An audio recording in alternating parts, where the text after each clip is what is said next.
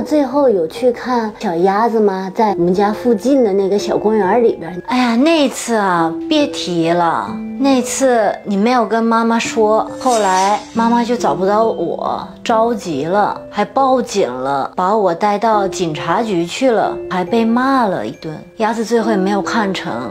那咱们这么努力的打的乒乓球，最后有赢球吗？有得奖吗？当然很多呀，但不过我退役了已经。我后来想回归到自己的生活，所以一直没有打球。对不起哦。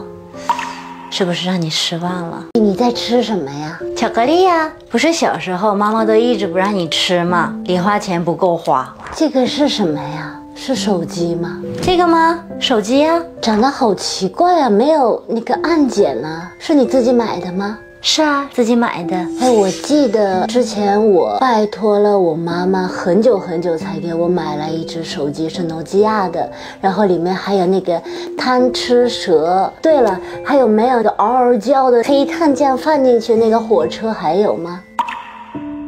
哎呀，早就没有了，现在都已经变成什么坐飞机啊，坐高铁呢？啊，那这样撞撞撞会那蹦那个爆米花，每次都是这样跳出来，我会吓一跳的那一个。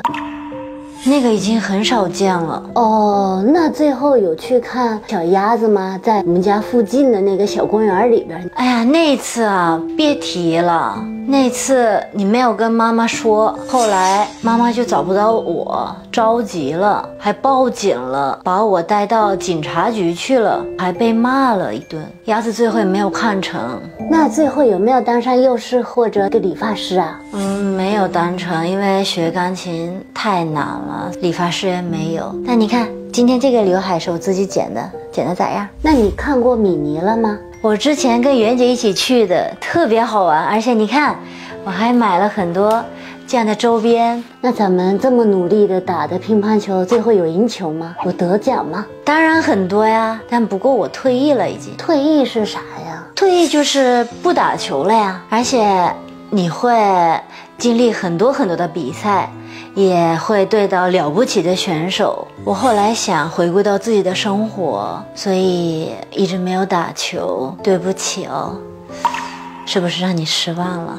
哎，这个有啥的？现在多好啊，有很多朋友，然后还有很多粉丝，而且呢，我觉得最开心的是可以随便吃甜点。这个也不能吃太多，会胖哦。